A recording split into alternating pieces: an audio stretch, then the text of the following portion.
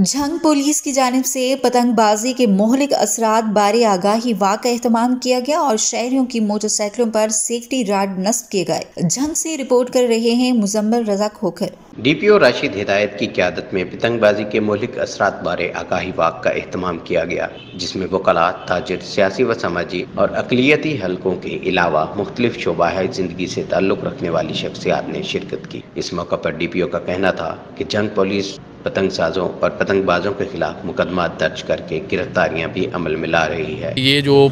पतंगबाजी और पतंग साजी है, ये इंतहाई मोहलक खेल और एक ख़तरनाक एक्टिविटी है,